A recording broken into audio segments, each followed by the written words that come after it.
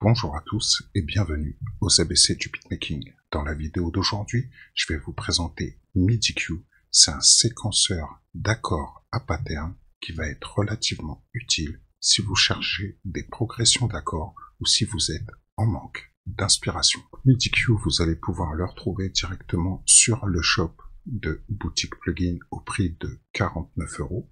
Il va fonctionner sur Mac comme sur PC en 64 bits. Vous allez pouvoir l'utiliser sur quasiment tous les dos du marché, mais en ce qui concerne Reason Machine, il va falloir utiliser Patchwork de chez Blue Cat Studio pour pouvoir le faire fonctionner. Vous pouvez aussi le trouver directement sur le shop de WA Production. Donc c'est www.waproduction.com. Vous aurez le lien dans la description et vous allez pouvoir retrouver toutes les informations sur ce VST. Maintenant, on va aller voir ce que ça donne directement dans Studio One. Donc on se retrouve dans Studio One pour voir MIDI-Q. Alors, première chose, la fenêtre est totalement redimensionnable pour voir correctement lorsqu'on travaille. En haut, on va tout simplement avoir la fenêtre avec les différents presets proposés. Vous allez pouvoir sauvegarder ou effacer des presets, en charger.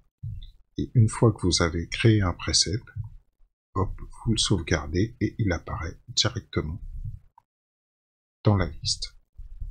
Je vais remettre le preset par défaut. Voilà. Et maintenant, on va regarder comment ça marche. Première information ici, on va avoir le MIDI trigger. En fait, c'est ce qui va correspondre à la vitesse d'exécution des différents accords qui vont être posés ici sur cette ligne.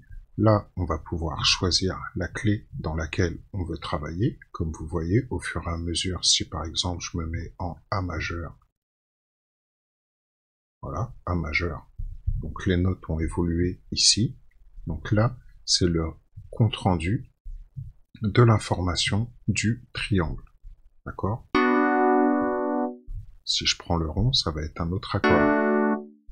Et en fait, ce qui se passe, c'est qu'à chaque fois que vous allez vouloir rajouter un accord, vous faites plus, ça va vous proposer différentes formes géométriques, et chaque forme géométrique va correspondre à un accord de la gamme de A majeur. Donc, admettons, je mets triangle en bas. Ici, ça va me donner un B mineur. Si je veux écouter, j'ai juste à mettre play sur mon séquenceur.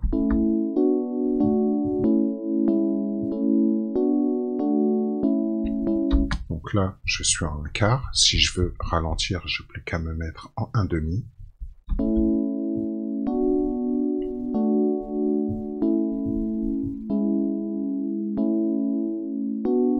Si je veux rajouter un accord, j'ai juste à appuyer sur plus et ça va me rajouter un accord. Le off-key, ça va nous permettre ici de rajouter certaines notes dans les accords qui vont être entre guillemets off-key, mais qui vont sonner quand même correctement. Donc après, il y a juste à essayer.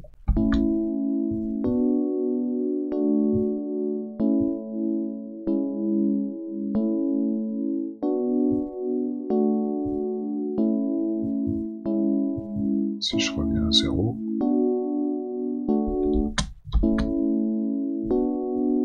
Voilà. Il y avait une petite différence. Donc, au fur et à mesure qu'on va rajouter les accords, on va vous proposer en fait des figures géométriques qui, dans la gamme, vont correspondre à un accord. Ici, c'est le bouton qui va vous permettre de gérer la vélocité de l'accord. Donc, si je rajoute, par exemple, ici, si je rajoute un accord, je clique dessus et je vais mettre, j'en sais rien, le rond. Je peux gérer la vélocité si je la mets toute basse. Dès que je vais relancer la lecture,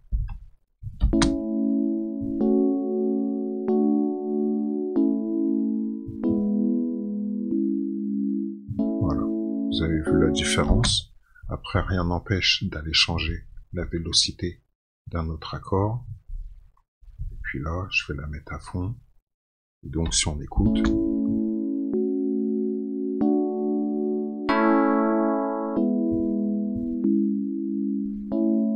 Voilà. Ensuite, je vais rajouter encore un accord ici. Hop, je vais mettre une vélocité et je vais rajouter, je vais changer, je vais mettre triangle, ça. Et là, je vais rajouter un autre accord. Voilà. Et là, je vais mettre un rectangle. Comme ça, on a un peu toutes les figures géométriques. Donc maintenant, je relance la lecture, admettons.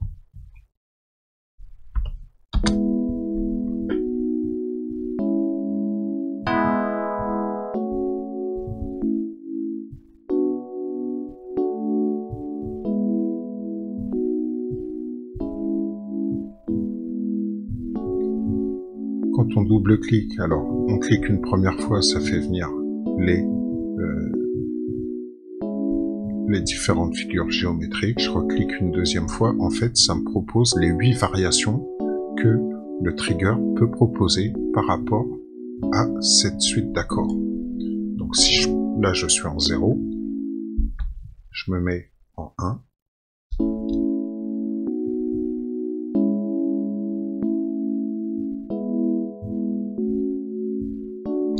comme vous avez vu, les notes ici ont changé. Si je passe en V2, vous allez voir, hop, là il y a des notes qui ont changé. V3, etc., etc.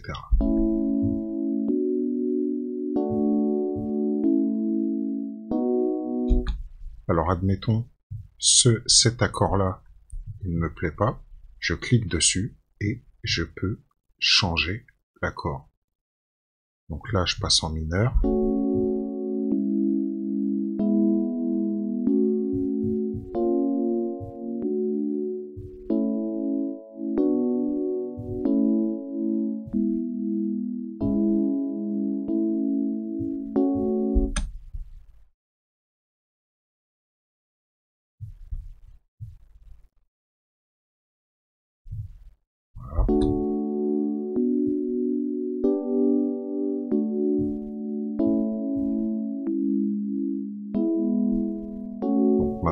Ça sonne un peu mieux. Là, je peux aller voir grâce au pitch ce que ça donne dans des octaves différentes.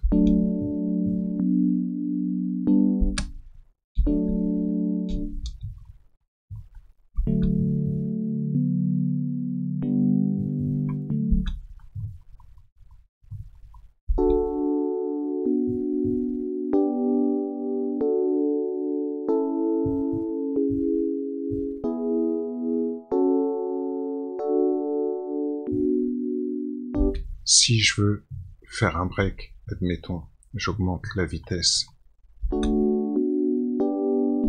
et qu'ici j'ai pas envie que l'accord soit joué, j'ai juste appuyé sur le rond. Je relance la lecture. Celui-là, j'ai pas envie qu'il soit joué et celui-là, j'ai pas envie qu'il soit joué, par exemple.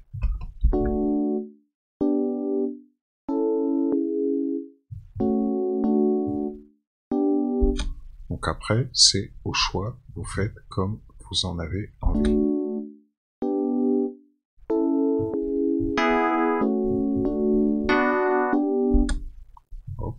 je remets la vélocité comme je la sens.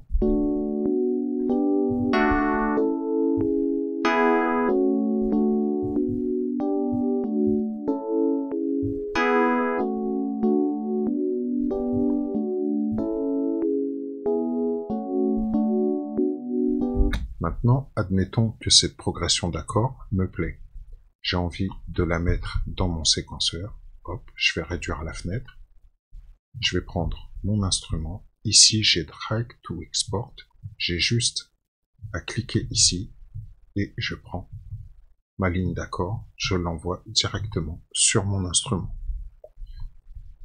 Si je veux que la pattern soit entière, je vais me remettre sur 1. Voilà. Je drag and drop. Hop. Et voilà, j'ai mes quatre mesures. Alors ensuite, ici, la au niveau de la ligne de commande du MIDI-Q, au niveau de la ligne de commande du DX7, j'avais mis MIDI-Q. Maintenant, je mets aucun, puisque j'ai déjà la pattern ici.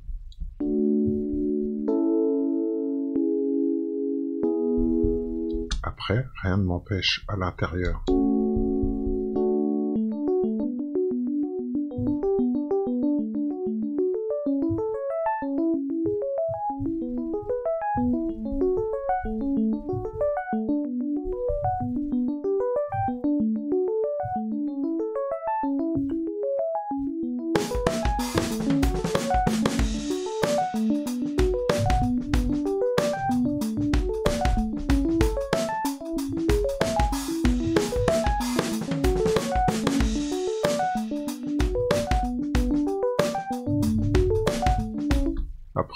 Peux, je peux rajouter des effets euh, directement sur mon instrument si ça me fait plaisir.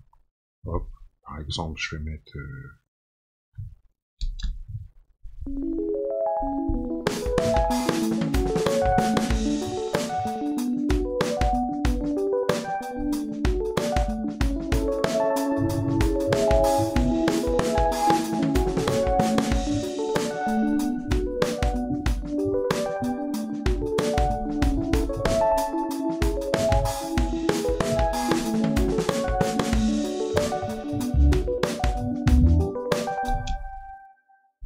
relance ma séquence.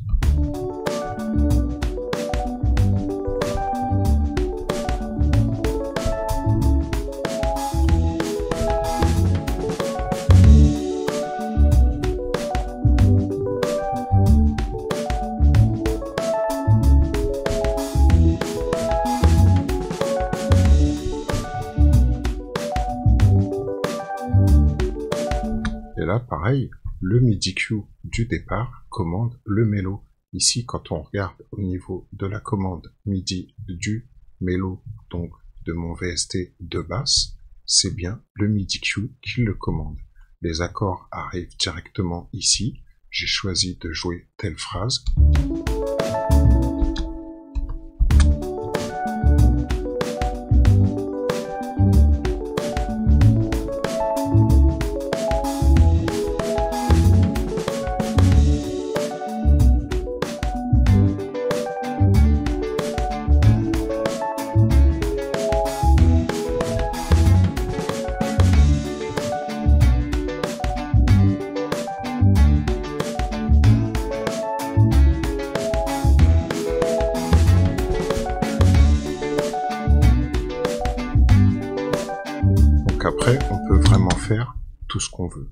Là, comme je vous ai dit, j'ai pris la part MIDI, je l'ai intégré directement sur mon DX7.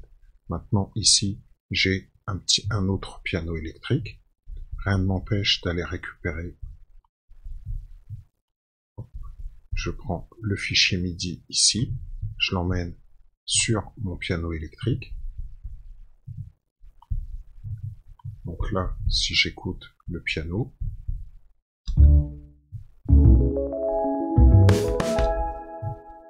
mettre hop, mixeur. J'enlève tout. Voilà, je me mets en solo sur ma piste. Maintenant, si je suis trop bas au niveau de la gamme, je sélectionne l'intégralité de mes notes. Je vais chercher le A2. Euh, oui, A2. Tac, tac, tac. Hop.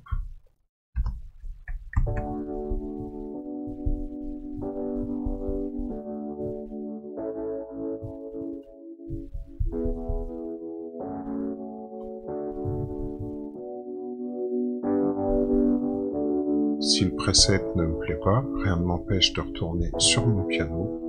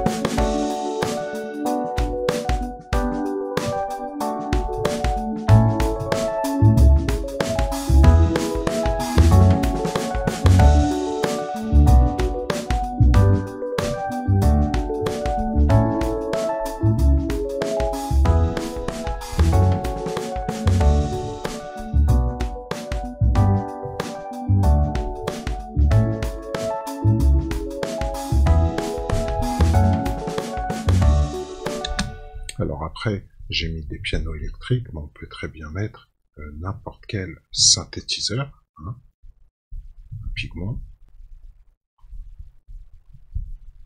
je rajoute mon pigment, voilà qui est fait. Je vais aller directement dans la partie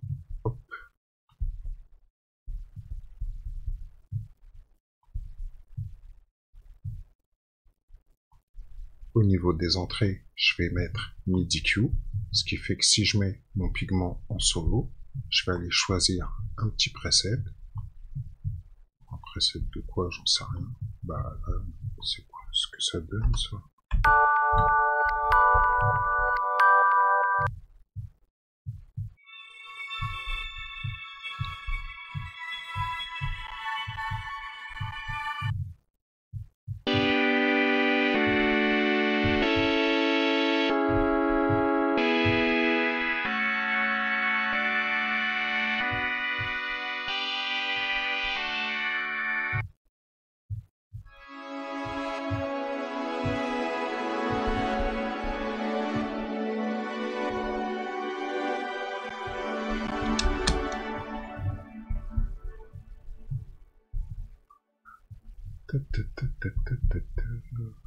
Je vais passer par le menu. Ok. Je sais rien.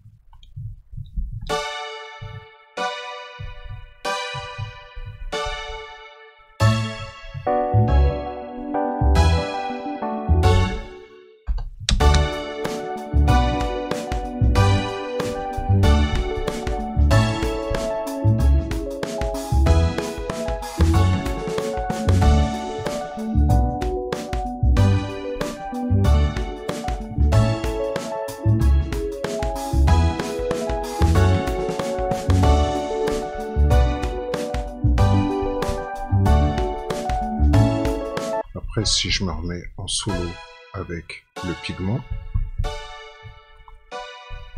et que je retourne sur mon MIDI ici, je peux très bien sélectionner deux notes.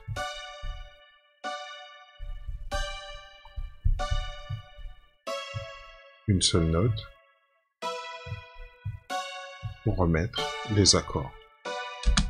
Et si par exemple, je ne mets qu'une seule note, dans drag and drop, il n'y aura qu'une note sur chacun des accords.